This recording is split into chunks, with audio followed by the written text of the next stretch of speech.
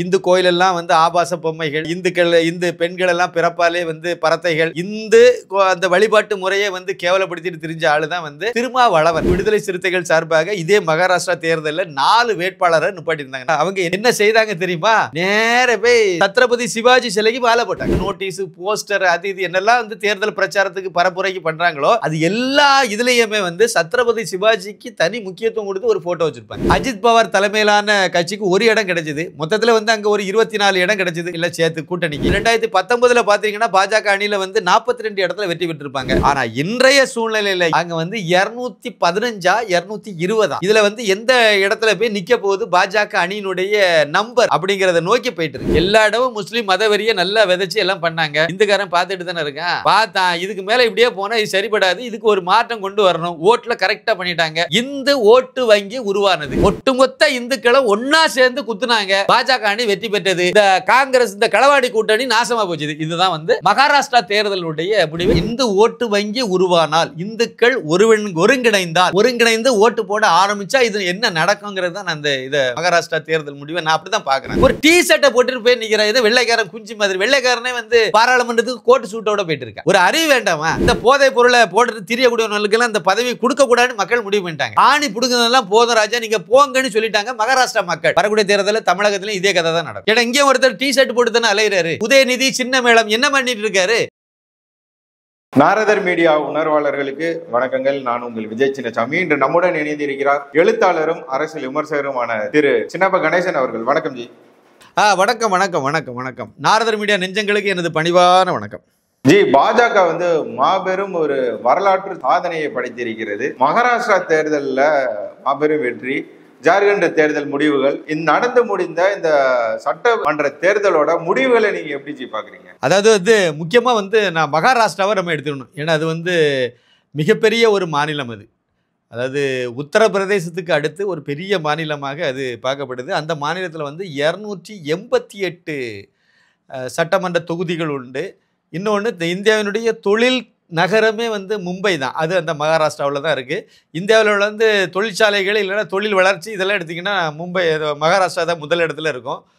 இப்படி இந்தியாவினுடைய நுழைவாயில் இந்தியா த மகாராஷ்டிராவை நீங்கள் எடுத்துக்கலாம். இப்படி பல முக்கியத்துவம் அந்த மாநிலத்துக்கு இருக்குது அதே மாதிரி வந்து இந்த முஸ்லீம் படையெடுப்புக்கு பிறகு அந்த முஸ்லீம் படையெடுப்பை வந்து எதிர்த்து ஒரு இந்து சாம்ராஜ்யத்தையும் அமைச்ச சத்ரபதி சிவாஜி மகாராஜ் பிறந்ததும் அதே மகாராஷ்டிரா தான் அவருடைய இது இன்னைக்கு வரைக்கும் அங்கே இருக்கு. எந்த அளவுக்கு அவருடைய பாதிப்பு இருக்கு அப்படின்னா இந்த இடத்துல சொன்ன ரொம்ப ரொம்ப பொருத்தமாக இருக்கும் அதனால நான் சொல்கிறேன் இந்து கோயிலெல்லாம் வந்து ஆபாச பொம்மைகள் இந்துக்கள் இந்து பெண்கள் எல்லாம் பிறப்பாலே வந்து பறத்தைகள் இப்படியெல்லாம் வந்து இந்து மதத்தை இழிவுபடுத்தி சிறுக்கு ஒழிப்பு மாநாடுங்கிற பேரில் இந்து கோ- அந்த வழிபாட்டு முறையை வந்து கேவலப்படுத்திட்டு தெரிஞ்ச ஆள் தான் வந்து திருமாவளவன். இந்த ஆளு வந்து இவருடைய கட்சி விடுதலை சிறுத்தைகள் சார்பாக இதே மகாராஷ்டிரா தேர்தலில் நாலு வேட்பாளரை நிப்பாட்டியிருந்தாங்க நாலு தொகுதியில் இந்த கட்சி வந்து நேரடியாக போட்டிட்டுச்சு. அதில் மூணு இடத்துல வந்து பானை சின்னமே இவங்களுக்கு கொடுத்துருந்தாங்க. கிடச்சிது. ஒரு இடத்துல பானை சின்னம் கிடைக்கல அதுக்கு குக்கர் சின்னத்தில் போட்டிட்டாங்க இவங்க வேட்பாளர்கள். இப்போ விஷயம் என்னென்னா நாலு பேர் போட்டிட்டாங்கல்ல அவங்க என்ன வே- என்ன செய்தாங்க தெரியுமா? நேர போய் சிவா அதாவது சத்ரபதி சிவாஜி சிலைக்கு மாலை போட்டாங்க. அந்த வீடியோவை திருமாவளவன் அவருடைய ட்விட்டர் பக்கத்தில் வெளியிட்டிருக்கார். நீ என்ன உள்ளே உள்ளதான் கிடக்க செக் பண்ணி பாருங்கள் அதே மாதிரி இவங்க அங்கே அந்த நாலு வேட்பாளர்களும் விடுதலை சிறுத்தைகள் கட்சி சார்பில் போட்டியிட்ட நாலு வேட்பாளர்களும் அவங்களுடைய அந்த நோட்டீஸ் எல்லாம் அடிக்கிறாங்கல்ல நோட்டீஸு போஸ்டர் அது இது என்னெல்லாம் வந்து தேர்தல் பிரச்சாரத்துக்கு பரப்புரைக்கு பண்ணுறாங்களோ அது எல்லா இதுலேயுமே வந்து சத்ரபதி சிவாஜிக்கு தனி முக்கியத்துவம் கொடுத்து ஒரு ஃபோட்டோ வச்சுருப்பாங்க. அந்த ஃபோட்டோ இல்லாமல் இவங்க வந்து அந்த நோட்டீஸே அடிக்கலை. இங்கே வந்து என்ன பண்ணிட்டு இருந்தாங்க? அம்பேத்கர் மட்டும்தான். அம்பேத்கர் ஈவேரா இந்த மாதிரிப்பட்ட இதை மட்டும்தான் அங்கே வைப்பாங்க. அது வேறு மாதிரி இந்து இந்து வாடையே வராது அந்த கட்சிக்கு. ஆனால் இது அங்கே போய் போட்டியிடும்போது எதுக்கு நான் சொல்கிறேன்னா அந்த மண் அப்படிப்பட்ட மண். அதனால் அங்கே யார் போனாலும் சரி கட்டபொம்மன் கோட்டைக்கு பக்கத்தில் ஒரு முயல் போனால் கூட அதுக்கு வீரம் வரும்னு சொல்லுவாங்க. அதே மாதிரி தான் மகாராஷ்டிரா அந்த மாதிரி ஒரு மாநிலம். அந்த மாநிலத்தில் மிகப்பெரிய ஒரு வெற்றியை வந்து இப்போ பாஜக அணி பெற்றிருக்கு. இது வந்து யோசிக்கத்தக்கிற விஷயம். அந்த மாநிலத்தில் இந்து இந்துத்துவாவை வந்து விதை போட்டு வளர்த்ததே வந்து பால் தாக்கரே அவர்கள் தான். அந்த மகன் தான் முதல்ல அந்த அந்த மாநிலத்தில் ஒரு விதை போட்டு ஒரு இந்துக்களுடைய ஒரு இந்து ஓட்டு வங்கியை உருவாக்குனது அவர் தான் இந்துக்கள் மத்தியில் ஒரு உணர்வை உருவாக்குனது அவர் தான் இல்லைன்னா நம்ம அந்த ம மகாராஷ்டிராவில் எப்பவுமோ நாசமாக போயிருக்கும். அந்த அளவுக்கு இருந்த அந்த அளவுக்கு முஸ்லீம்களுடைய ஆதிக்கம் முஸ்லீம் மத வெறி கும்பல் உடைய ஆதிக்கம் வந்து அங்கே ரொம்ப அதிகம். சினிமா துறைக்குள்ளே ஊடுருவி இந்த கான்களெல்லாம் இறக்கி விட்டு தாதாக்கள் மூலமாக அங்கே நிறைய இதெல்லாம் பண்ண ஒரு மாநிலம். அது எல்லாமே பின்புலத்தில் பார்த்தீங்கன்னா முஸ்லீம் மத வெறி கும்பல் முஸ்லீம் பயங்கரவாத கும்பல்கள் தான் பின்புலத்துல இருந்து இயக்கிக்கிட்டு இருந்த மாநிலம். இப்போ இப்போ வந்து அந்த மாநிலத்தில் அந்த பால் தாக்கரே அவர்களால் உருவாக்கப்பட்ட அந்த சிவசேனா கட்சி அவருடைய மகன் உத்தவ் தாக்கரே அவருடைய பேரன் வந்து ஆதித்ய தாக்கரே இவங்க வந்து இப்போ அந்த கட்ச கட்சியை நடத்திட்டு இருக்காங்க. அந்த கட்சியிலேருந்து வெளியே வந்த சிண்டு அப்புறம் முதலமைச்சரால் ஆகி இப்போ கடை கடைசி அவர் தான் இருந்தார். எல்லாத்துக்கும் தெரிஞ்ச விஷயம் இது. இந்த மாதிரி சூழ்நிலையில் வந்து பாஜக அணிக்கு எப்படிங்க வெற்றி கிடைக்கும்? அப்படி தான் எல்லாரும் எதிர்பார்த்துட்டு இருந்தாங்க. கடந்த ஒரு நாலு மாதத்துக்கு முன்னாடி நடந்த பாராளுமன்ற தேர்தலில் கூட பாஜக அணி வந்து அங்கே பெரிய அளவில் வெற்றி பெறல. இன்னும் சொல்லப்போனால் பாதி இருபத்தி நாலு இடங்களில் தான் வெற்றி பெற முடிஞ்சுது. பாஜக ஒன்பது இடம் அப்புறம் சிண்டே தலைமையிலான சிவசேனா ஒரு ஏழு இடம் அப்புறம் வந்து அஜித் பவார் தலைமையிலான கட்சிக்கு ஒரு இடம் கிடைச்சிது. மொத்தத்தில் வந்து அங்கே ஒரு இருபத்தி நாலு இடம் கிடைச்சிது. இல்லை சேர்த்து கூட்டணிக்கு. அந்த இருபத்தி நாலு இடம்ங்கிறது வந்து மகாராஷ்டிராவில் நாற்பத்தி எட்டு பாராளுமன்ற தொகுதி உண்டு.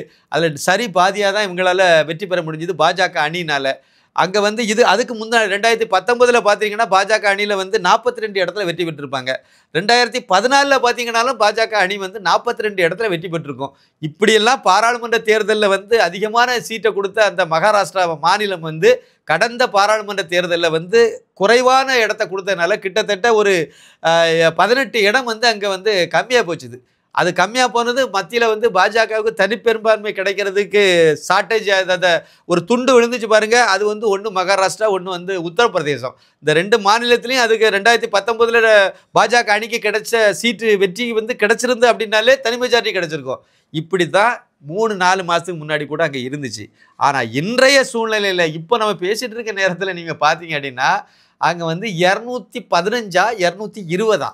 இதில் வந்து எந்த இடத்துல போய் நிற்க போகுது? பாஜக அணியினுடைய நம்பர் அப்படிங்கிறத நோக்கி போயிட்டு இருக்கு இருபதுன்னு போடுறாங்க அப்புறம் இல்லை முன்னிலை பதினெட்டுங்கிறாங்க அப்புறம் வந்து பதினஞ்சுங்கிறாங்க அப்புறம் இருபத்தி ஒன்றுங்கிறாங்க இப்படி மேலேயும் கீழே ஏறி இறங்கி வந்திருக்கு. எப்படி இருந்தாலும் சரி ஒரு இரநூத்தி பதினஞ்சுக்கு மேலே தான் அது இருக்க மாதிரி தான் இப்போடைய அந்த ப்ரொஜெக்ஷன் வந்து நம்ம காணிக்குது. அப்படி நம்ம பார்க்கும்போது இரநூத்தி எண்பத்தி எட்டு தொகுதி உள்ள அந்த மாநிலத்தில் இரநூத்தி இருபது இடம் இரநூத்தி பதினஞ்சு இடத்துல பாஜக அணி வெற்றி பெறுது அப்படின்னா இது வரலாற்று சாதனை தானே?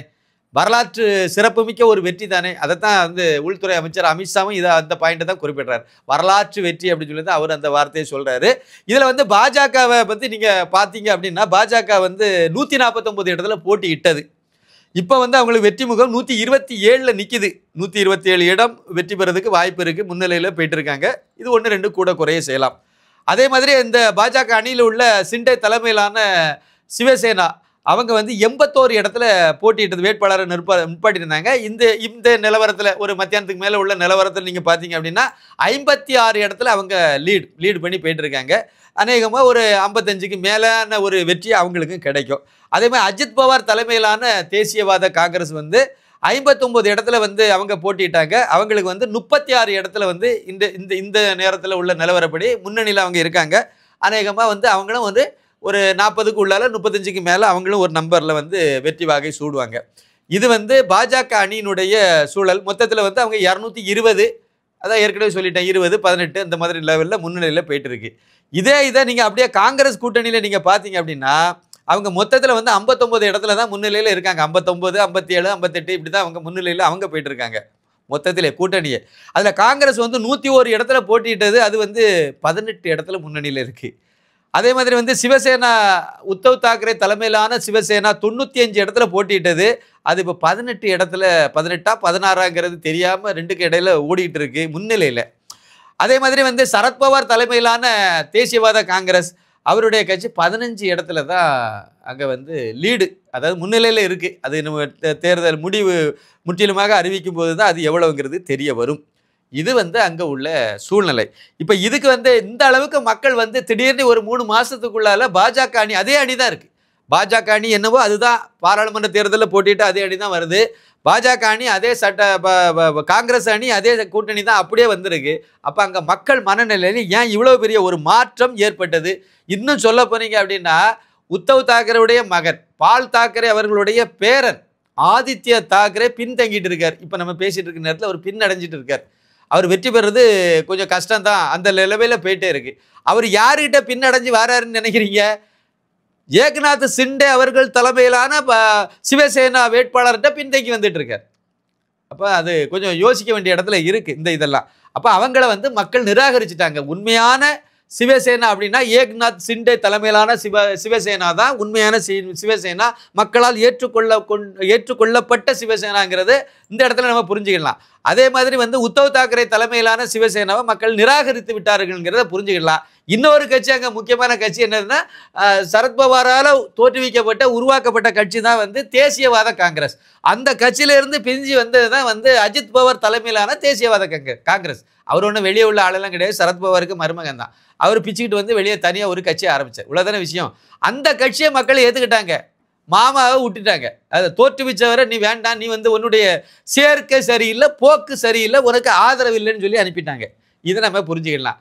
முக்கியமான ஒரு விஷயம் அங்கே என்ன அப்படின்னா இந்த தேர்தலுக்கு முன்னாடி எல்லா எல்லா இடமும் பரவலாக இந்தியா முழுக்க இந்த சூழ்நிலை உருவாகிட்டே இருக்குது என்ன வேலை நடந்துச்சு அப்படின்னா இந்த முஸ்லீம்களில் உலமாக்கல் கவுன்சில்னு ஒன்று அவங்க அவ்வளோ பேரும் சேர்ந்து என்ன வேலை பார்த்தாங்கன்னா பதினாலு கட்டளைகள் போட்டாங்க கண்டிஷன்ஸ் போட்டாங்க.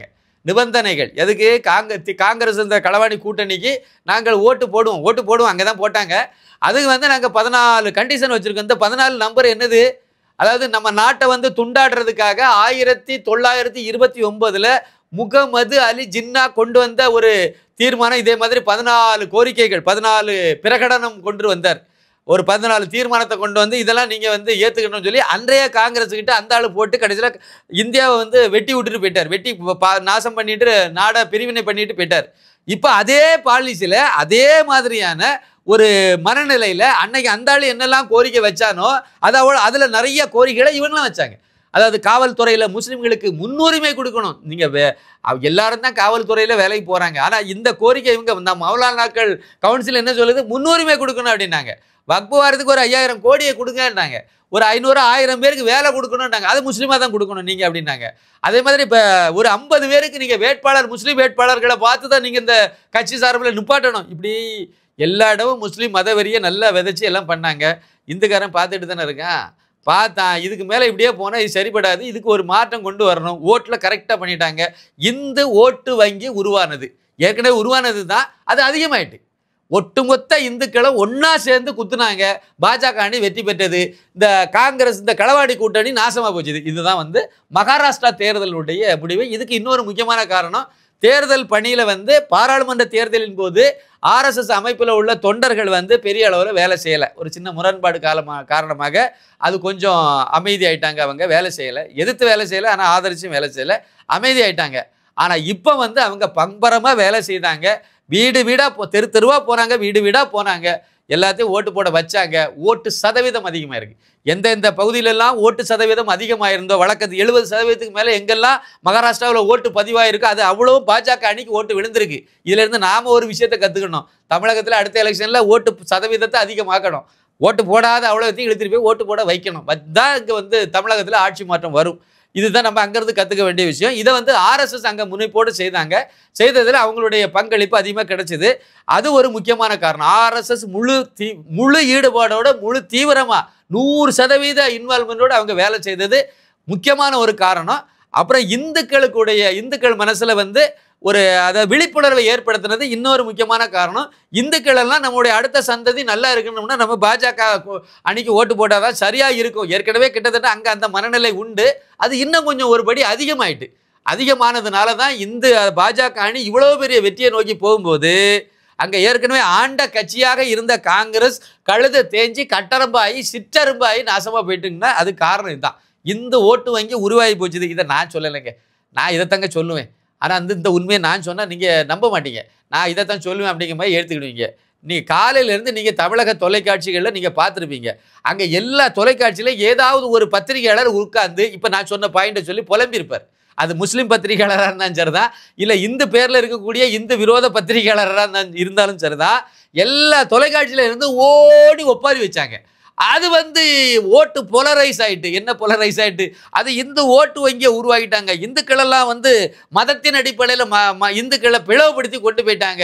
அவங்க எல்லாம் ஓட்டு போட்டாங்கடா முட்டா பயில்வோல நீங்களாம் என்னத்துக்கு என்ன இளவுக்கு பத்திரிகையாளர்னு சொல்லிட்டு அலையிறீங்க? தமிழகத்தில் கடந்த சட்டம் பாராளுமன்ற தேர்தலில் எப்படி ஓட்டு போட்டாங்க? அதுக்கு முந்தின சட்டமன்ற தேர்தலில் எப்படி ஓட்டு போட்டாங்க? மசூதியில் சொல்கிறத கேட்டு ஒட்டுமொத்தமாக திமுக களவாணி கூட்டணி ஓட்டு போட்டாங்க. முஸ்லீம்கள் எல்லாம். சர்ச்சில் சொல்றதை கேட்டு அப்படியே ஒட்டு மொத்தமாக திமுக காங்கிரஸ் களவாணி கூட்டணி ஓட்டு போட்டாங்க. தமிழ்நாட்டில் அதுதாங்க நடந்துட்டு இருக்கு. இந்தியா முழுக்க அதுபடி நடந்தா இல்லையா? இப்போ கூட வயநாட்டில் எந்த அடிப்படையில் வந்து அங்கே ஓட்டு போட்டுட்டு இருக்காங்க? ஓட்டு போட்டாங்க. சொல்லுங்க இன்னைக்கு ஓட்டு என்னைக்காச்சு? பிரியங்கா வெற்றி பெற்றாச்சு. வெற்றி கிட்டத்தட்ட வெற்றி பெற சூழ்நிலையை நோக்கி போயிடுச்சு. ரெண்டு லட்சத்துக்கு மேலே வித்தியாசத்தில் போயிட்டு இது எந்த அடிப்படையில் போச்சுது? ஒரே காரணம் அங்கே முஸ்லீம் மதவெறி கும்பல் அதிகம். அவ்வளோதானே சர்வதேச அளவில் உள்ள அவ்வளவு முஸ்லீம் பயங்கரவாத கும்பல்களுக்கும் இங்கே ஒரு வேர் வச்சுருக்காங்க. இங்கே ஒரு தொடர்பு லிங்க் வச்சுருக்காங்க. அதானே உண்மை?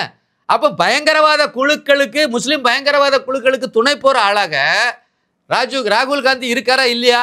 அப்படி இருக்கிறதுனால தானே நீங்கள் வந்து முஸ்லீம் பயங்கரவாதிகளை ஆதரிக்கிறதுனால தானே நீங்கள் அந்த இடத்த போய் தேர்வு செய்து நிற்கிறீங்க உங்கள் தங்கச்சி அங்கே கொண்டு நிப்பாட்டி வெற்றி பெற வைக்கிறீங்க. இவ்வளோதான் சூத்திரம். இவங்க வந்து முழுக்க முழுக்க கிறிஸ்தவங்கள் மத்தியிலையும் முஸ்லீம் மத்தியிலையும் சொல்லி அவங்க ஓட்டு வை ஓ அதை அவங்க அவ்வளோத்தையும் ஒட்டுமொத்தமாக காங்கிரஸ் திமுக இவங்க கூட்டணிக்கே ஓட்டு போட வச்சது தப்பு கிடையாதான். கிறிஸ்தவம் ஒட்டுமொத்தமாக சேர்ந்து இந்த- இந்த களவாணி கூட்டணிக்கு ஓட்டு போட்டால் அது தப்பு கிடையாது. முஸ்லீம்கள் ஒட்டுமொத்தமாக சேர்ந்து இந்த திமுக காங்கிரஸ் களவாணி கூட்டணிக்கு ஓட்டு போட்டால் தப்பு கிடையாது. ஆனால் அதே சமயத்தில் இன்னும் ஒருபடி மேலே போய் இந்த அப்பாவி இந்துக்கள்கிட்ட அப்போ அந்த கிறிஸ்தவத்தை கிறிஸ்தவ மதத்தை சார்ந்த இல்லை முஸ்லீம் மதத்தை சார்ந்த சாதாரண பெண்கள்ங்கிற போர்வையில் போய் அப்பா இல்லை பெண்கள் ஆண்கள் யாருமே இந்துக்கள்கிட்டையும் போய் கொலையடிச்சு நீ வந்து மோடிக்கு ஓட்டு போடாத நீ பாஜக ஓட்டு போடாதன்னு சொல்லி அந்த பிரச்சாரம் எல்லாம் தப்பு கிடையாது. அதெல்லாம் வரவேற்கத்தக்கது. டிவியில் உட்கார்ல இருந்து கடைக்கோடி வயலில் வேலை செய்கிற ஆண் பெண்கள்கிட்ட கூட இந்த பிரச்சாரத்தில் கட்டமைச்சு போன எலெக்ஷன் அதுக்கு முந்தின எலெக்ஷன்லாம் ஓட்டு போட வச்சாங்க. இந்த ஓட்டையும் மடைமாத்தம் கொண்டு பண்ணி கொண்டு போனாங்க. அதெல்லாம் தப்பு கிடையாது. எல்லாமே மத ரீதியாகவே பண்ணி முடிச்சுக்கிட்டு இப்போ இந்துக்காரன் ஒன்று சேர்ந்து ஓட்டு போ அது அடுத்த அதுதானே வரும். இந்துக்காரனை தூண்டி விட்டதே நீங்கள் தானே ஐயா? சும்மா கிடந்த இந்துக்காரனை தூண்டி விட்டீங்க. ஒவ்வொருத்தனா வெளியே வர ஆரம்பித்தான் பேச ஆரம்பித்தான் யோசிக்க ஆரம்பித்தான் இப்போ இந்துக்கள் ஓட்டு வங்கி உருவாகிட்டு அது அதிகமாகிட்டு போகுது. அதிகமாக தான் செய்யும்.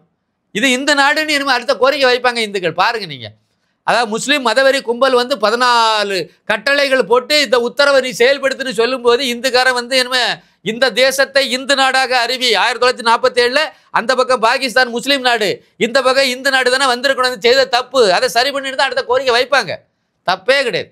இந்த தேசத்தை இந்த நாடுங்கிறத அறிவிக்கிறதுக்கு ஒரு பிள்ளையார் சுழியாக இந்த மகாராஷ்டிரா தேர்தல் முடிவை நான் பார்க்குறேன். ஒரு மாபெரும் வெற்றியை வந்து பாஜக அங்க பாஜகவுக்கு கிடைச்சிருக்கு. ஆனா மாபெரும் தோல்வியானது காங்கிரஸ் கூட்டணிக்கு கிடைச்சிருக்கு. எதிர்க்கட்சி என்ற ஒரு அந்தஸ்தே கிடைக்காம போற ஒரு சூழ்நிலையில இருக்காங்க அவங்க. நீங்க இதை எப்படி பாக்குறீங்க ஆமாம் அதுதான். நான் ஏற்கனவே சொன்ன மாதிரி இந்து ஓட்டு வங்கி உருவானால் இந்துக்கள் ஒருவன் ஒருங்கிணைந்தால் ஒருங்கிணைந்து ஓட்டு போட ஆரம்பிச்சா இது என்ன நடக்குங்கிறது தான் நான் இந்த இதை மகாராஷ்டிரா தேர்தல் முடிவை நான் அப்படி தான் பார்க்குறேன்.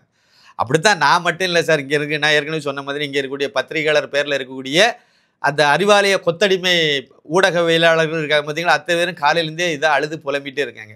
என்ன அப்படின்னா ஒட்டுமொத்தமாக இந்துக்காரன் சேர்ந்து ஓட்டு போட்டுட்டான். அதுக்கு பிறகு பாஜக தரப்புல பேசுகிறவங்க இல்லை இல்லை அங்கே வந்து மோடி வளர்ச்சி திட்டம் நிறைய கொண்டு வந்திருக்காரு அதை பண்ணியிருக்காரு இதை பண்ணியிருக்காருலாம் சில பேர் பேசுனாங்க. நான் இல்லைன்னு சொல்லலை. எல்லாமே உண்மைதான் சார். மிகப்பெரிய வந்து புல்லட் ரயில் திட்டமே வந்து மகாராஷ்டிரா மையப்படுத்தி தான் போகுது. அதே மாதிரி ரயில்வே திட்டங்களாக இருக்கும் மே பா பாலங்களாக இருக்கும் எல்லாமே சரி. ஏன்னா நிதின் கட்கரி அந்த மாநிலத்தை சேர்ந்தவர். நிறைய இது அங்கே பட அதை சேர்ந்தவர் மட்டும் இல்லை அது தேர் தொழில் தொழில் நகரம் அது. அதனால அதுக்கு தேவையானதெல்லாம் பண்ணுறாங்க நான் அது இல்லைன்னு சொல்லலை. கட்டமைப்பை நல்லா மேம்படுத்தியிருக்காங்க. நிறைய வளர்ச்சி திட்டங்களை கொண்டு வந்திருக்காங்க. ஊழலை வந்து அடியோட ஒழிச்சிருக்காங்க. எல்லா கதையும் உண்மைதான். ஆனால் அதை வச்சு இப்போ எவனாவது ஓட்டு போடுறான்னு சொல்லுங்கள் அதை வச்சு போட்டிருந்தா மோடி பத்து வருஷமாக கொடுக்காத ஒரு வளர்ச்சியை தமிழகத்தை இந்திய அளவில் வந்து வேறு எந்த நாட்டு எந்த ஆட்சியில் இதுக்கு முன்னாடி கொடுத்தாங்க? அதுக்கு முன்னாடி ஒரு பத்து வருஷம் காங்கிரஸ் திமுக இந்த கூட்டணி இருந்துச்சுல மத்தியில். என்ன வளர்ச்சியை கொடுத்தாங்க? தினசரி ஒரு ஊழல். அப்போ அந்த ஊழலை பார்த்து பழக்கப்பட்ட மக்கள் அடுத்து ஒரு பத்து வருஷம் நல்லாட்சி கொடுத்த மோடிக்கு வந்து நானூறுக்கு மேலே சீட்டு கொடுத்துருக்கணுமா வேண்டாமா? ஏன் கொடுக்கல? வளர்ச்சி மட்டுமே இங்கே வேலை செய்யலை. இங்கே வந்து நீங்கள் அதுக்கு எதிரான பிரச்சாரத்தை கட்டமைச்சீங்க. உத்தரப்பிரதேசத்துலலாம் ஒட்டுமொத்த முஸ்லீம்களையும் ரவுண்டு பண்ணி அப்படியே திமுக கா காங்கிரஸ் கூட்டணி கொண்டு போயிட்டீங்க. அகிலேஷ் யாதவ் காங்கிரஸ் கூட்டணி அப்படியே நவட்டிட்டு போயிட்டீங்க. மகாராஷ்டிராவிலையும் அதே வேலையை செய்து இப்போ மட்டும் என்னவா?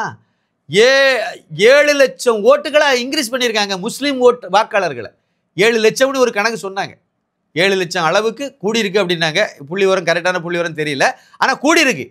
கிட்டத்தட்ட ஏராளமான என்ஜிஓக்களை களத்தில் இறக்கி விட்டாங்க. முஸ்லீம் என்ஜிஓக்கள் என்ஜிஓக்கள்ங்கிற பேரில் முஸ்லீம் மதவார கும்பல் உலமாக்கள் கவுன்சில்னு ஒன்று வச்சுருக்காங்களா அவங்க ஏற்பாட்டில் ஏராளமான தொண்டு நிறுவனங்கள் பேரில் நிறைய பேரை களத்தில் இறக்கி விட்டு முஸ்லீம்களில் இது வரைக்கும் ஓட்டு இல்லாதவங்களுக்கெல்லாம் ஓட்டு கண்டுபிடிச்சி அவங்களுக்கு போட வச்சு அவங்கெல்லாம் ஓட்டு போட வச்சு அதே மாதிரி வந்து யாருக்கெல்லாம் வந்து இந்துக்கள் இந்துக்களை அவங்க டிஸ்டர்ப் பண்ணல. இந்துக்கள் பகுதியில் அவங்க போகல முழுக்க முழுக்க முஸ்லீம் ஏரியாவில் போய் அவங்க வந்து ரெண்டு விஷயம் ஒன்று ஓட்டு இல்லாதவங்களுக்கெல்லாம் ஓட்டு இதை உருவாக்கி அவங்கள கொண்டு ஓட்டாளர்களாக மாற்றினாங்க வாக்காளர்களாக ரெண்டாவது ஒரு விஷயம்னா அவங்க அவ்வளோ தூரம் இந்த களவாணி கூட்டணி ஓட்டு போடணுங்கிறத பிரச்சாரமாக எடுத்தாங்க.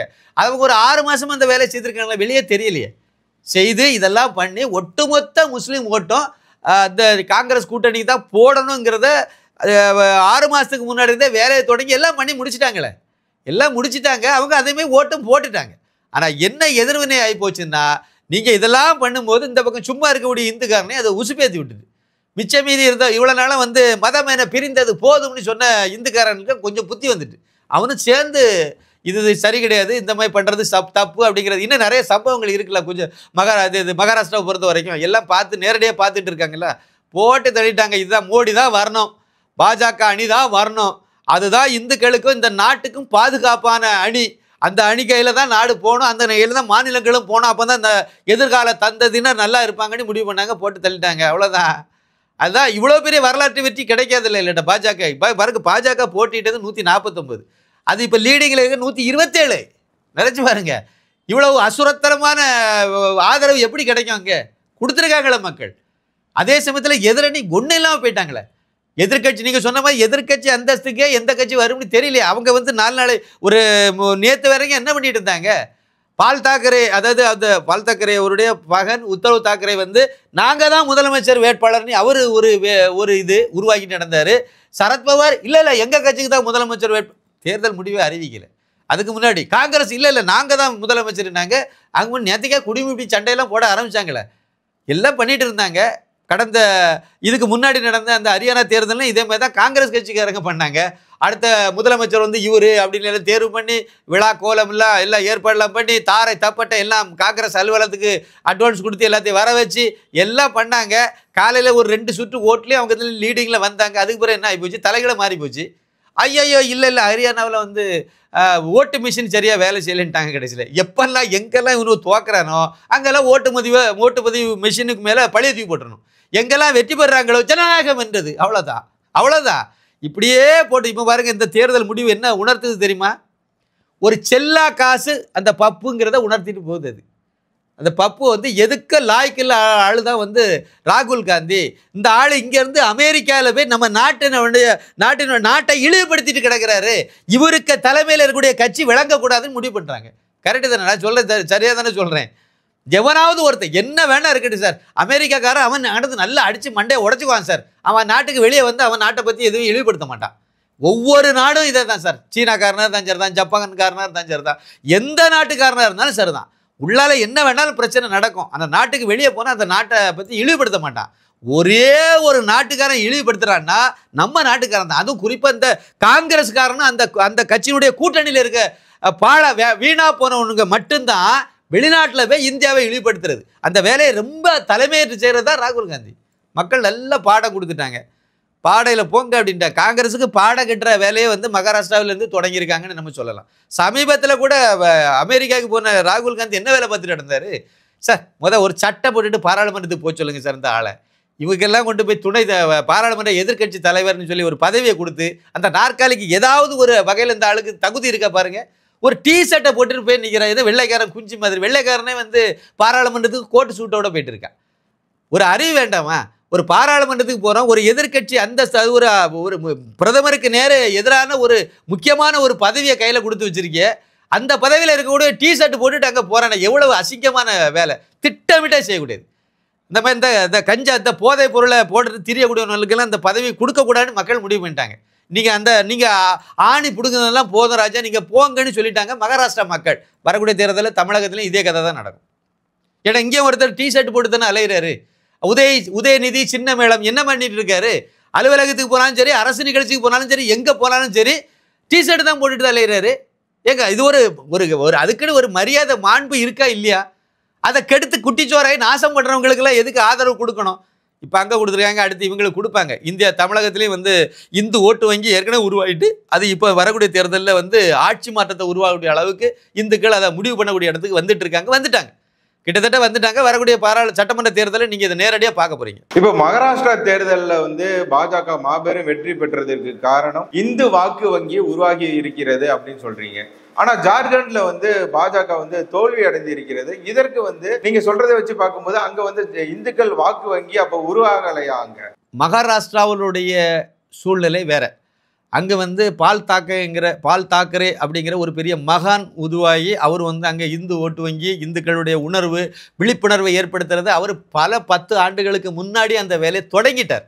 அதை நம்ம வந்து ஏற்றுக்கணும் ம இந்தியாவினுடைய மற்ற மாநிலங்களில் இல்லாத அளவுக்கு மகாராஷ்டிராவில் வந்து பால் தாக்கரே அவர்கள் வந்து ரொம்ப ரொம்ப வருஷத்துக்கு முன்னாடி அந்த வேலையை எண்பதுகளில் ஆரம்பிச்சு விட்டாங்க அதனால அங்கேருந்தே ஆரம்பித்து தொடர்ந்து வந்து வந்து வந்து வந்து இன்றைக்கி வந்து அது இவ்வளோ பெரிய பலனை கொடுக்க ஆரம்பிச்சிருக்கு. மற்ற மாநிலங்களில் பொறுத்த வரைக்கும் அங்கே ஒரு விழிப்புணர்வு கூடுதலாகிட்டு இந்துக்கள் மத்தியில் பள் கல்வி அறிவும் வந்து நீங்கள் ஜார்க்கண்டை ஒப்பிட்டு பார்க்கும்போது அங்கே அதிகம். ஜார்க்கண்ட் அளவுக்கு அதாவது மகாராஷ்டிரா அளவுக்கு ஜார்க்கண்டில் வந்து இந்துக்களுக்கு விழிப்புணர்வு இல்லைங்கிறத நம்ம ஒத்துக்கணும். அது அது ஒரு ஒரு அடிப்படையான ஒரு பாயிண்ட் அது. இந்தியாவில் வந்து ஊப்பியில் நல்லா இந்துக்களுடைய இது வந்து விழிப்புணர்வு வந்துட்டு இன்னும் வரக்கூடிய தேர்தலில் இன்னும் அதிகமாக ஆகும் அது. ஓரளவுக்கு வந்திருந்து இன்னும் அதிகமாயிரும் அது. காஷ்மீரில் கூட உருவாயிட்டு கன்னியாகுமரியிலையும் ஓரளவுக்கு நல்லாவே உருவாயிட்டு. இந்த அளவுக்கு இருக்குது ஆனால் தமிழகத்தினுடைய பிற பகுதியில் நீங்கள் அடுத்த எலெக்ஷனில் எதிர்பார்க்கலாம். ஜார்க்கண்டில் வந்து மலைப்பகுதி கல்வி அறிவு கொஞ்சம் குறைஞ்ச பகுதி அது. மக்கள் அதிகமான மக்கள் கல்வி அறிவு போய் சேரல இன்னும். முழுமையான கல்வி அறிவு கிடைக்காத ஒரு மாநிலம் பின்தங்கிய மாநிலம் பரிசையில் தான் அது இருக்குது அந்த மாநிலத்தில் உள்ள இந்துக்களுக்கு அந்த உணர்வு இன்னும் அந்த விழிப்புணர்வு இன்னும் வரலங்கிறது உண்மை. அதனால் அது தேர்தலே பிரதிபலிக்கல ஆனாலும் பாஜக வந்து அங்கே மிகப்பெரிய அளவில் தோல்வி அப்படியெல்லாம் ஒன்றும் கிடையாது. கிடையாது. நான் ஒரு புள்ளி வரத்தை சொல்கிறேன் ஒரு க அந்த பட்டியலை சொல்கிறேன் இப்போ உங்களுக்கு புரிஞ்சிடும் ரெண்டாயிரத்தி இருபத்தி நாலு இந்த தேர்தல் இந்த தேர்தல் அங்கே போட்டியிட்ட ஜார்க்கண்ட் முக்தி மோர்ச்சா. அது வந்து அதாவது ஹேமந்த் சோரன் தலைமையிலான ஜார்க்கண்ட் முக்தி மோர்ச்சா. இந்த கட்சி வந்து மொத்தத்தில் எண்பத்தோரு சீட்டுன்னு நான் சொல்லிட்டேன். அதில் நாற்பத்தி மூணு இடத்துல அவங்க போட்டிட்டாங்க. வெற்றி பெற்ற இப்போ லீடிங்கில் போயிட்டுருக்குது. முப்பது இடங்கள்ல வந்து லீடிங்கில் அவங்க போயிட்டுருக்காங்க முன்னணியில் இருக்காங்க.